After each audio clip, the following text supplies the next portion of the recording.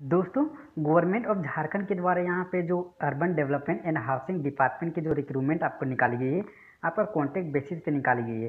तो आपने intermediate M C M B A या फिर पीजी डिप्लोमा कर रखे हैं तो आप बिल्कुल इसके लिए आवेदन कर सकते हैं। पोस्ट की बात करें तो जो पोस्ट आपको यहाँ पे निकाली गई आपका असेट मिशन मैनेजर जो कि H R and capacity building के लिए आपको रिक्रूटमेंट निकाली गई है एंड सिटी मिशन मैनेजर यानी जो सोशल डेवलपमेंट एंड इंफ्रास्ट्रक्चर के लिए यहाँ पे रिक्रूटमेंट निकाली गई स्किल्स एंड लाइवलीहुड्स के लिए निकाली गई and financial inclusion and micro enterprises के लिए आपको यहाँ पे रिक्रूटमेंट निकाली गई M I S and M E and community organisation तो आपको यहाँ पे छः पोस्ट के लिए जो रिक्रूटमेंट आपको यहाँ पे निकाली गई है तो आपने अगर इसके अनुसार एलिजिबिलिटी क्राइटेरिया है तो आप बिल्कुल इसके लिए आवेदन करें। टोटल सीट की बात करें तो टोटल सीट आपको यहाँ पे निकाली गई आपका 54 जो है टोटल सीट निकाली गई, जो कि आपका कैटेगरी के अनुसार यहाँ पे डिस्ट्रीब्यूट कर दी गई है। तो आप किस कैटेगरी से हैं? General S T S C B C one या फिर बी सी टू तो उसके अनुसार यहाँ जो है सीटें देख करके जो आप अप्लाई कर सकते हैं। यहाँ पे मंथली जो आपको रिमोनेशन यानी जो आपका सैलरी आपको प्रोवाइड की जाएगी। तो यहाँ से आप देख पा रहे कि जो स्टेट मिशन के लिए अगर आप सिलेक्टेड होते हैं तो उनको जो है सिक्सटी फाइव थाउज़ेंड आपको यहाँ पे सैलरी आपको प्रोवाइड की जाएगी। उसके बाद यहाँ पे जो सीरियल नंबर टू से लेकर यहाँ पे अगर आप फाइव तक अगर इसमें आप सिलेक्टेड होते हैं तो उनको जो है पचास हज़ार आपको पर मंथ सैलरी आपको प्रोवाइड की जाएगी। एंड कम्युनिटी ऑर्गेनाइजेशन में अगर आप सिलेक्टेड होते हैं तो उनको जो है दस हज़ार आपको पर मंथ आपको यहाँ पे सैलरी प्रोवाइड की जाएगी। ठीक है?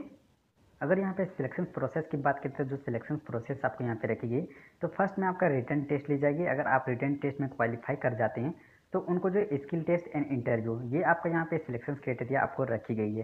ठीक है? अगर आप इस फॉर्म को आवेदन करना चाहते हैं, आप इंडिया के किसी भी स्टेट से हैं, अगर आपका एज जो है सिक्सटी से नीचे होगा तो आप बिल्कुल इसके लिए आवेदन कर सकते हैं। ओके? यहाँ पे एप्लीकेशन फ़ी की बात करें तो जो एप्लीकेशन फ़ी आपको यहाँ पे ली जा रही है तो पोस्ट के अनुसार एप्लीकेशन फ़ी ली जा रही है। तो अगर आप सीरियल नंबर वन से लेकर फाइव तक के पोस्ट में अगर आप अप्लाई करते हैं तो उनको जो है ग्यारह सौ आपको एप्लीकेशन फ़ी ली जा रही है। एंड सीरियल नंबर सिक्स के लिए अगर आप अप्लाई करते हैं कम्युनिटी ऑर्गेनाइजेशन के लिए तो उनको जो है पाँच सौ आपको अप्लीकेशन फ़ी ली जा रही है। तो इस अप्लीकेशन फ़ी को आप कैसे भी, कैसे पे कर सकते हैं तो ऑनलाइन पेमेंट यहाँ पे बोला गया है। तो ऑनलाइन मोड पर जो है इसका अप्लीकेशन पेमेंट कर सकते हैं। किसी तरह की अगर आपको डिफ़िकल्ट होगा इसमें प्रॉब्लम होगा तो यहाँ पे जो ईमेल आईडी दी गई है इस ईमेल आईडी में जो है आप यहाँ पे सेंड करके जो है नौ सितंबर से पहले आप यहाँ से जानकारी ले सकते हैं ठीक है कैसे आवेदन करना है तो यहाँ पे पूरी प्रोसेस आपको यहाँ पे बताएगी स्टेप वाइज आपको यहाँ पे बताई गई है ये इसका अप्लीकेशन का फॉर्म है इसको आपको डाउनलोड कर लेना है यहाँ पे पर्सनल डिटेल्स यहाँ पे दे गए हैं आपको यहाँ पे पूरी प्रोसेस यहाँ पे बताई गई ठीक है फ़र्स्ट इसको आपको जो प्रिंट आउट यहाँ पे निकाल लेना है ओके? नीचे में स्क्रॉल कीजिएगा तो यहाँ पे आप देख पा रहे कि यहाँ पे पूरी प्रोसेस आपको बताएगी कि कैसे जो इस फॉर्म को आप आवेदन कर सकते हैं। ओके? तो अगर आप इस फॉर्म को आवेदन करना चाहते हैं तो फ़र्स्ट में इसका जो ऑफिशियल वेबसाइट दी गई है, उसमें आपको जाना होगा। उसके बाद यहाँ पे देख पा रहे कि स्टेप वन में आपको रजिस्ट्रेशन करने के लिए आपको दी गई है।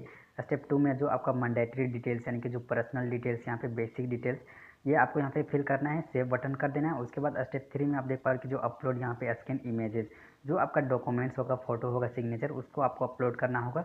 उसके बाद रिक्रूटमेंट डिटेल्स यहाँ पे जो आपका रिक्रूटमेंट डिटेल्स है, वो उसको आपको यहाँ पे फिल कर लेना है। जो आपका मैक्स पेमेंट है, होगा, उसको पेमेंट कर लेना है। स्टेप फाइव में आपका प्रिंट आउट ऑफ़ अप्लीकेशन का फॉर्म जो अप्लीकेशन का फॉर्म है, उसको आपको प्रिंट आउट ले लेना है। ठीक है? यहाँ पे पूरी प्रोसेस आपको बताइए कि कैसे जो इस फॉर्म को आप आवेदन कर सकते हैं। नीचे में आप स्क्रॉल कीजिएगा तो देख पा रहे कि यहाँ पे रजिस्टर करने के लिए आपको यहाँ पे क्या क्या आपको यहाँ पे डिटेल्स आपको मांगे गए हैं। ये आपको यहाँ पे लॉगिन करने के लिए तो यहाँ से आप जो है इसको देख करके जो है आप रजिस्टर से लेकर यहाँ पे प्रिंट आउट तक पूरी प्रक्रिया आपको यहाँ पे बताई गई है। तो यहाँ से आप किसी तरह की यहाँ से गलती नहीं कर सकते हैं। पूरी प्रोसेस आपको यहाँ पे दी गई। पर्सनल डिटेल्स से लेकर यहाँ पे एजुकेशनल डिटेल्स एक्सपीरियंस डिटेल्स यहाँ पे एकेडमिक डिटेल्स यहाँ से देख करके जो इस फॉर्म को आप आवेदन कर सकते हैं। ठीक है? तो कब तक आवेदन करना है? तो नौ सितंबर से पहले जो है इस फॉर्म को आप ऑनलाइन आवेदन कर सकते हैं। ठीक है?